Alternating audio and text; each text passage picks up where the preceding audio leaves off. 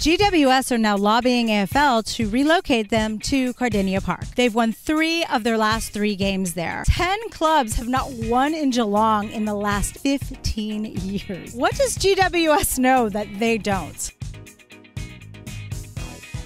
Welcome to AFL from LA. I'm your host, Cindye. I'm here in front of Prospect Studios. Fun fact they used to shoot General Hospital here. Carlton's promising start to the season has faded faster than a politician's promise. They had 60 inside 50s for only six goals. That's as efficient as, well, Carlton in round one, two, three, six, nine, and 10. Curnow and McKay combined for one six. Charlie started strong, playing higher up the ground and taking some great marks. But Harry, whew, he looked lost, kind of like a vegan at a steakhouse. Since his new contract, his accuracy is only at 34%. Pre contract, he was kicking at 52%. Does Harry have a fetish for behinds? Cripps had only 19 touches, while Sydney's Chad Warner had 29 and two goals. But it wasn't all doom and gloom for the Blues. Walsh had 31 disposals and 8 inside 50s, and Jacob Weitering kept Buddy goalless. Full credit to Sydney, though, they stood up when it counted most led by Warner, Gulden, and Nick Blakey. Man, he was zipping down the field like a teenager who was just given the keys to their father's car. Once again, the heat's coming from Michael Voss. But hey, it took Ted Lasso three years, and if you're enjoying this show, I know you are, like and subscribe. It really helps more Aussies get to see the show. Luke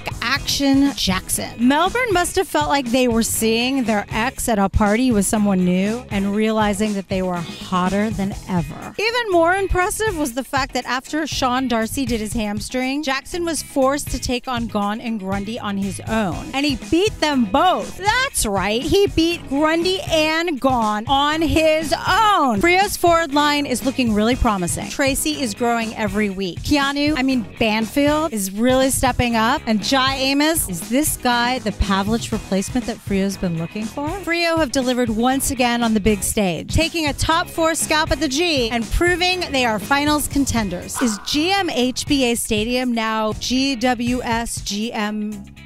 Be Greater Western Sydney without Sam Taylor, Josh Kelly, Harry Himmelberg, and Nick Haynes. Beat Geelong in Geelong. Superstar and hottie of the week, hottie of every week, really. Toby Greene played his 200th game. There was no way these guys were going to lose on his 200th game. That signals to me respect for their captain. And as a captain and a leader, you either have it or you don't. And Toby Greene has it. Man, not only did the Giants withstand the Cats' last quarter fight back, they kept going. Adam Kingsley just told them to just play like their lives depended on it, and they never stopped fighting and they never stopped trying to score. Whitfield, Greene, and Ward were all awesome, as were Daniels, Riccardi, and Hogan. And let's not forget Iden down back. And what about Briggs and the Rock? The plus side for Geelong was the debut of Irishman Mullin. There were four Irishmen out on an AFL field. The last time four Irishmen played on an AFL field, it was a U2 concert. Pissed off by all the attention Darcy Moore received last week, James Sicily decided to one up him and play perhaps the best game of his career. Sicily had 15 disposals in the last quarter alone and a one game suspension for belting Caminiti. Is James Sicily the new Darcy Moore? Will Darcy Moore respond by getting 50 disposals next week? The Hawks outplayed the Saints for three quarters. The way they move the ball does not reflect a team sitting at 16th on the ladder. If this is tanking, then Sam Mitchell is doing a terrible job. Adam Simpson, on the other hand,